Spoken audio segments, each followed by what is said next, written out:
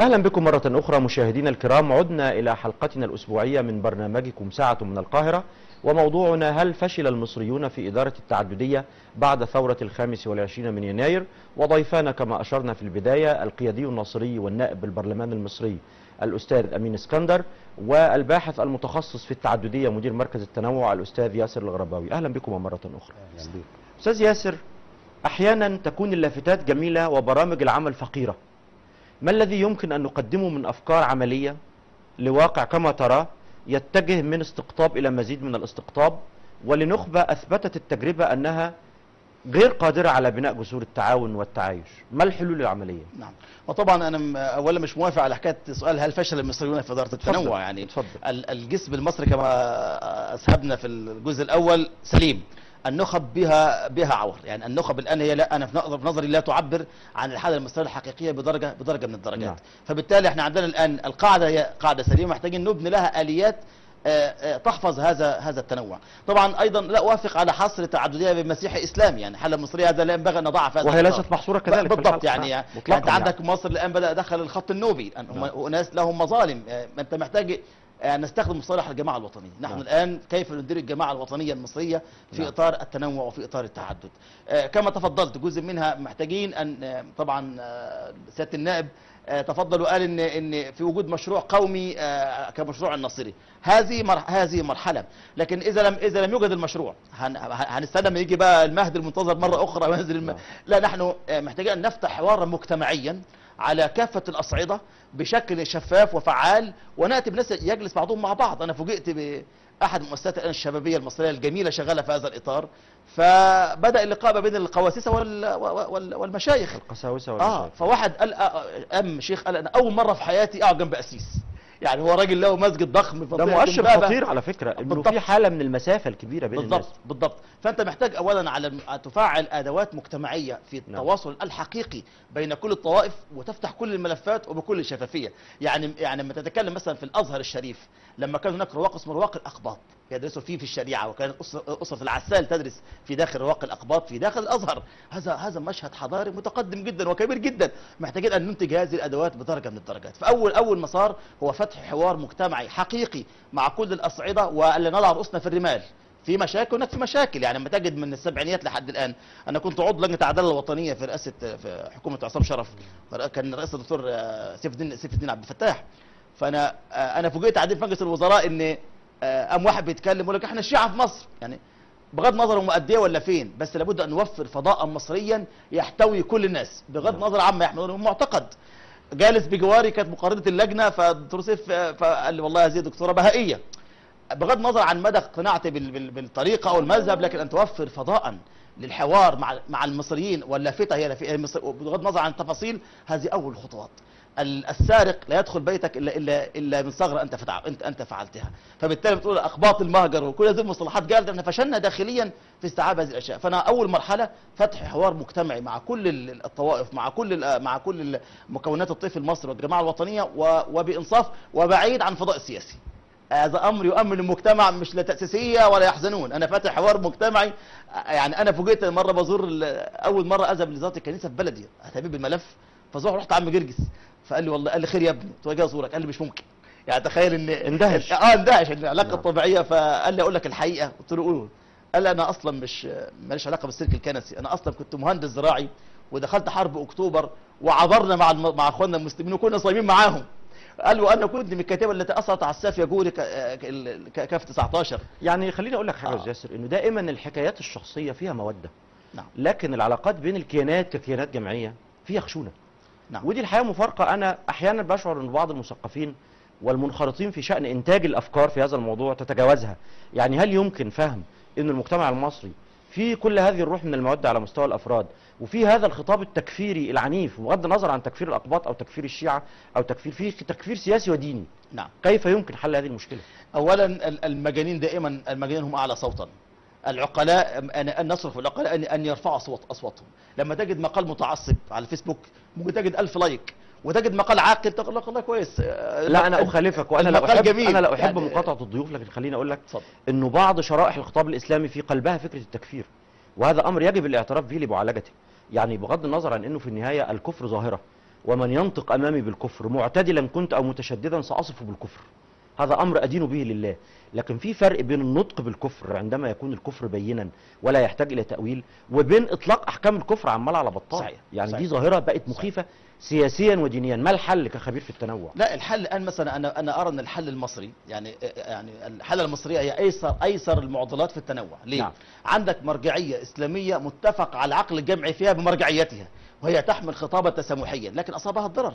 يعني الأزهر لا لا يعمل لا يعمل بكامل قوته. أعد لهذه المؤسسة يعني نظارتها وأوقافها ومقدراتها وانتخابها وانظر كيف سيكون الخطاب. لما تجد لما تجد يعني ال- ال- الفتاوى مش أنت قلتها سموحية التي تعبر عن الروح المصرية تتحرك وتنطلق هينزوي الطرف الآخر الذي كان يستمد شرعيته من صبره على عنفوان نظام مبارك. ما يعني أنا أخذ يعني في وقت القمع والشدة آه، أنا اعتقلت أنا يعني ذلك المناظرة بين بين المرشحين بعضهم علق قال لك الآخر بيذلنا باعتقاله والثاني بيذلنا ب- بعلاقاته الخارجيه يعني. نعم. فلا انت الآن محتاج محتاج أن تقدم للناس في تسامحك مع الآخر في تقديم نموذج. مثلا ما تقول لي والله هو حزب مصر كل المصريين واجي الاقي الاقي من أول القيادة لاخر عضو هو يعني آه، آه، يعني خالص لفئة ما. ما نضحكش نعم. على بعض. لا هذا الحزب فعلا ليس حزب ليس حزبا مصريا وإن بدا فيه بعض بعض التجميلات. فأنا أعتقد إطلاق الطاقات والمبادرات الموجودة في المي... في المجتمع المدني بشكل كبير جدا هي قادرة على أن تفرض على السياسيين خطابا معتدلا أستاذ ياسر برامج التعددية التي تعمل فيها أنت بشكل مباشر هل آه، أنتجت خبرة التعامل معها نصائح بسيطة ومباشرة للرجل العادي نقول له كيف تحافظ على مجتمعك أقوى من خلال قناعات في العلاقة بين التيارات السياسية بين الأديان بين المذاهب؟ تقول له إيه في شكل روشتة؟ طبعا إذا بدأنا بالرجل الشارع العادي المصري إحنا قلنا اتفقنا إنه آه، وجدانه أقرب للتسامح وبشكل كبير جدا عما فوقه. المشكلة كبيرة جدا في المستوى الثاني إحنا قلنا إذا حبينا نتكلم في صناعة الرأي العام بيبدأ من ثلاث مستويات. في رأي عام قائد. يعني يصنع يصنع ال- ال- الحدث ويفجر ال- المسألة. ثم رأي عام مثقف أنا وأنت والصحفيين والإعلاميين والسياسيين. ثم رأي عام عاطفي جماهيري بيتغذى على الاثنين دول. منطقة امنه تعال شوف مثلا لو شفنا فيلم اللبناني اللي كان مرشح لأوسكار هلا هلا الوين الفيلم بيحكي قصة ضيعة كانت امنه مستقرة. دخلها الدش. بدأ ينقل خطاب بدأ ينقل أزمة بيروت بين الموارنة والكاثوليك والمسلمين. والقرية كانت فيها كل حاجة لكن كانت بالليل نار تزرع وبالليل تنام. لا شافوا التفجيرات وبدأ بدأ النزاع الطائفي في داخل القرية إنه نقل تم دخول مدخل جديد عليهم. فأنا أعتقد الآن ال- ال- المعركة الكبيرة جدا هو في أن نكفكف من هؤلاء المجانين على المنابر اعواد المنابر في المساجد وعلى آه، أيضا في داخل الكنائس. لذلك الآن ال- والشركة الحالة المصرية فيها مشروعات آه، يعني مقاومة لل- للتعصب عجيبة جدا. بس المشكل مش مش حد الاستقطاب الحدي ديني إسلامي مسيحي. أنا شايف إنه الاستقطاب بين الإسلاميين والعلمانيين نعم. على موضوع زي اللجنه الجمعيه التأسيسية بيأكد إن ده الأخطر والصدع الأكبر في صحيح. الشخصية المصرية. صحيح. لأن يعني يعني مثلا شوف الحالة التونسية الإبداع جه نعم. منين يعني بقول الحالة التونسية. الحالة التونسية العقل فيها عقل مركب. أستاذ راشد أنا أنا أعرفه شخصيا. نعم. اولا هو آه، آه، درس في جامعة الزيتونة. ثم انتقل درس الفلسفة في في, في دمشق. ثم تعرف على على التجربة القومية. ثم أخذ منحة للف- للفلسفة في جامعة السوربون. ثم أقام في لندن فترة طويلة جدا. هذا العقل المركب هو اللي افتمل عمل الفارق في حياة الأمم. يعني بتتكلم مثلا عن الحالة الإسلامية صلاح الدين كردي ال- العرق آه، آه، اشعري العقيدة شافعي المذهب آه، خبرة عسكرية. انتجت حطين. الحالة المصرية مثلا وطبعا يعني أتمنى تتقدم وإذن زي ما قال آه، سياده النائب آه، الآن من إسكندر ان ان الفضاء المتاح الان من الحرية إن شاء الله المفترض إنه يطور الحاله الحالة آه. الموجودة. يعني مثلا لو جيت شفت القاده الإسلاميين في الحالة المصرية هيعمل صدامات بس آه هيطور الحالة الإس- الحالة الإسلامية المصرية تفكيرهم تفكير تفكير بسيط. اولا معظم القيادة الإسلامية في الحالة التيار الإسلامي المصري هم خريج علوم تطبيقية. هذا طبعا هو أنا أنا مش معنى إن أنا ممتهن هذا العقل. لا بس ده منحى لكن مهم. لكن هذا العقل يتعامل مع الأرقام. نعم. يعني زي واحد زائد واحد بيساوي اثنين لكن الظاهرة الإنسانية كان هي- الأستاذ عادل حسين الله يرحمه آه. تذكرتني بواقعه لطيفه جدا آه. أمين عام حزب العمل في منتصف التسعينات طبعا كان. لافت نظره جدا كثرة المهندسين في العمل العام في مصر طبعا. وقال ملاحظة قريبة من فال- حضرتك قلت ال-. قال بيهندسوا السياسة زيادة عن اللازم بالضبط ال- ال- فالتجربة التونسية ليست من اليوم يعني تخيل التجربه التونسيه هي تعتبر يعني رغم أنها تنتمي من مدرسه الإخوان المسلمين نعم. لكن تطبيق العملي لافكار لأفكار مالك بن نبي وكانت منفتحة على على على علي شريعتي هذا المكون المركب النسبي أ- انتج هذا هذا الفضاء الموجود. نعم. أيضا التقارب ما بين اليساريين والإشتراكيين والعلمانيين التونسيين خاضوا معركة الاستبداد كتفا بكتف. الوقت بدأ يدهمنا وأنا آه، عندي سؤال صحيح. ختامي للأستاذ ياسر آه. أعتقد إنه مهم. في إطار ال- الجدل حول مشروع الدستور ما الذي يجب ألا يخلو منه دستور دولة محترمة تريد أن تعزز التعددية؟ نعم. اولا الدستور يعني اختصاره في نص قانوني أو أسطر هذا خطأ. الأمم تحيا بالتوافق. نعم. لابد أن يرى كل مواطن مصري مهما كان عرقه أو دينه أو لغته أو مكانه الجغرافي نفسه في هذا الدستور لذلك إحنا نقول التأسيسية أهميتها في إيه مش في الصياغة أهميتها في التعارك إن الشيخ ياسر برهمي ومحمد حسان إذا كان موجود صحيح. مع البرادع إذا كان موجود مع رباب المهدي هذا المطبخ إذا دخلوا فيه هؤلاء الناس لهم مريدين. هذا النقاش الذي تم الآن في هذه الحلقة أو غيرها هو أول فضاء ي- يبد أن ينفتح. فبالتالي لابد أن يرى كل مواطن مصري نفسه في هذا في هذا الدستور وأنه آه، مصون الجانب وأنه له حقوق وأنه عليه عليه واجبات.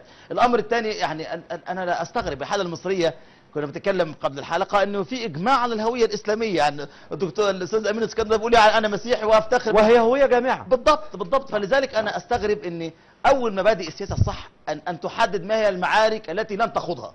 يعني حالة تونسية حالة استقطابية طيار علماني لائكي يرفض الدين تماما. عكس حتى زي ما قال سيادة النائب ما فيش مصر علماني معادي للدين بشكل يعني بشكل. صارخ أو نأخذ في مساحة رفض للدين. فبالتالي أنا أرى إن أول أول معالم الدستور السليم أن أن يمثل كل الطوائف المصرية أن يؤمن مستقبلهم أن يكون على مسافة متساوية واحد واحدة من كل الأطراف التي تنحاز الدولة لطرف دون آخر.